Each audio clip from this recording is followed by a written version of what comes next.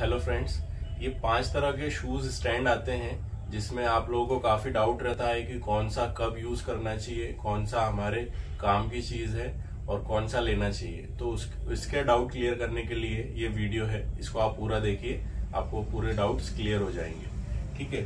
सबसे पहले आता है हमारा एक स्क्वायर प्लेट जो कि स्टील की रहेगी जो कि सिंपली इस तरह से वॉल पे लग जाएगी और आप इस पे शूज़ रख सकते हैं। आप ये देख सकते हैं ये सभी दूर यही प्लेट्स लगी हुई है और सिंपली इस पे शूज़ आ जाएगा। ये तो हो गया अगर आपके पास प्लेन वॉल है, आपका नया काम है, या फिर पुराना भी है, लेकिन प्लेन वॉल है अगर आपके पास, आप उस पर प्लाई भी लगवा सकते हैं डायरेक्ट भी लगवा सकते हैं। प्लाई लगाने की ज़रूरत नहीं है, आपका बजट है तो प्लाई लगवा सकते हैं, उसके, उससे आपकी वॉल खराब नहीं होगी। ठीक है, सबसे पहला आइटम हो गया ये स्क्वायर प्लेट इसके बाद ये सेम काम करेगा अपना round round plate round plate में क्या होता है, थोड़ा सा शेप इसका अच्छा दिया हुआ है ओवल शेप में है ये। तो इसमें लुक थोड़ा सा अच्छा आता है। ये भी सिंपली इस तरह से वॉल पे डायरेक्ट लग जाएगी। अगर आपके पास प्लेन वॉल है तो ये इजीली उस पर लग जाएगी और इस तरह से इसका व्यू आ जाएगा और शूज़ इस पे इजीली आप रख सकते हैं। अब इसी तरह से एक ये तीसरा आइटम आता है एक्रेलिक ट्रे जो कि ट्रांसपेरेंट रहेगा पूरा। आप इसमें मेरा फेस भी देख सकते हैं।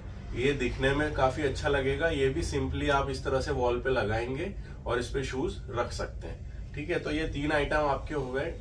और इसके बाद फोर्थ आइटम आता है स्लोप स्टैंड स्लोप स्टैंड में फ़ायदा है कि आप शूज़ को इस तरह से टेल्ट करके आप रख सकते हैं। इसका व्यू मैं आपको दे, दिखा देता हूँ किस तरह से दिखेगा। आप स्क्रीन पे देख सकते हैं। आपको ये सिंपली वॉल पे लगाना है। आप चाहे जितना इसको टिल्ट कर सकते हैं जितना आप टिल्ट करेंगे उतना इस पे शूज़ इजीली आ जाएगा इस तरह से।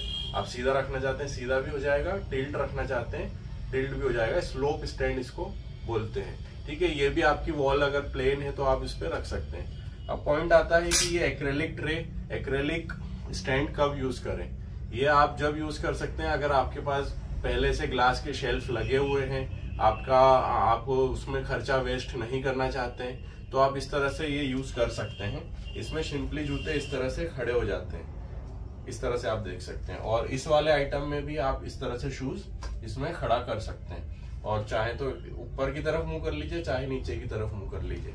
ये जब आपका यूज़ होगा, जब आपके पास ग्लास के शेल्फ लगे हुए हैं। एक मिनट इधर आना।